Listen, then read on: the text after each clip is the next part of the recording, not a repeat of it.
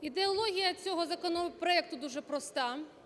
Він взагалі дуже короткий, але надзвичайно важливий. По суті, це великий виклик перед нами, що ми його не прийняли до сих пір. Справа в тому, що в нас військовий контракт може підписати для проходження військової служби може підписати не тільки громадянин України, а також громадянин будь-якої держави. Однак у випадку загибелі сім'я військовослужбовця, сім'я загиблого громадянина України отримує більшу фінансову допомогу, ніж родина загиблого іноземця.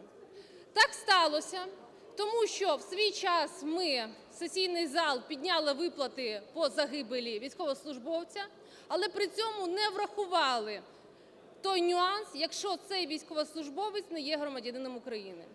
Тому в даний законопроект цю дірку закриває, він урівнює виплати що сім'ям загиблих громадян України, що сім'ям загиблих іноземців, якщо вони проходять службу в військових силах України і, на жаль, героїчно загинули на цій війні, яка зараз триває через агресію Російської Федерації у нас на Донбасі.